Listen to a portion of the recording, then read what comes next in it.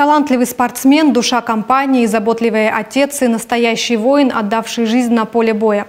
В Первоуральске состоялся баскетбольный турнир в память о погибшем на специальной военной операции солдате Андрее Печенкине. Подробнее в сюжете.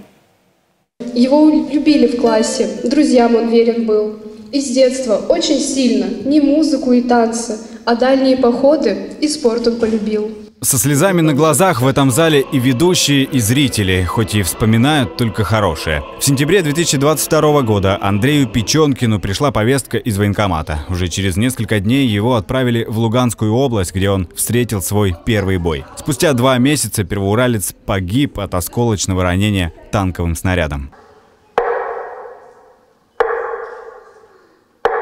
В актовом зале родной для Андрея пятой школы собрались учителя, тренеры, одноклассники, друзья и знакомые. Но главный гость, конечно, мама. С дрожью в голосе она благодарит всех, кто чтит память ее погибшего сына. Он у меня очень хороший был парень.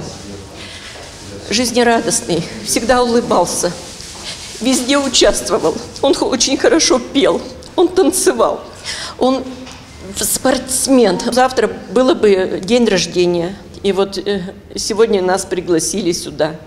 Конечно, я очень рада, что не забывают ребята, не забывают учителя. Спасибо всем. Спорт в жизни Андрея играл одну из самых важных ролей, потому отдать дань уважения учителя и тренеры решили тоже на спортивной ноте, организовав баскетбольный турнир памяти Андрея Печенкина. Это очень важно, да. Здесь присутствуют воспитанники школы 5 и дворового клуба. Ребята, я думаю, прониклись вот именно патриотизмом, что сейчас это самое главное в школе, поддерживать, э, быть э, защитником своей родины, быть сильным, заниматься в кружках и секциях, как это было раньше. В турнире участвуют больше 30 человек, их разделили на команды. Половина – это ученики 9-11 классов, вторая – выпускники школы, друзья и коллеги погибшего. Иван Скалов – один из тех, кто начинал играть в баскетбол вместе с Андреем. Сегодня вспоминает турнир 20-летней давности, который назывался «Мой спортивный двор». Был фол, и нужно было пробивать штрафной бросок. И Андрей, помню, э, бросал его, что называется, из-под юбки. То есть не обычным методом, а снизу мяч бросал. Забил он тогда? Э, да, он забил. Турнир одержали победу. Моя личная первая победа. И Андрея тоже была личная первая победа.